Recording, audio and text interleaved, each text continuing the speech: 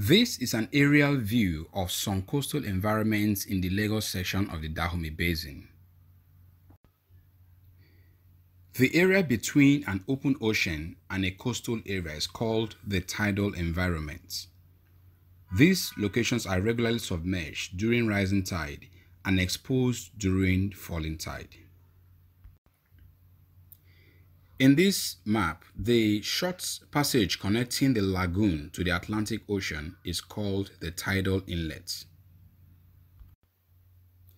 The rising, also called the flooding phase of the ocean, creates what is called a flood tidal delta in the landward area.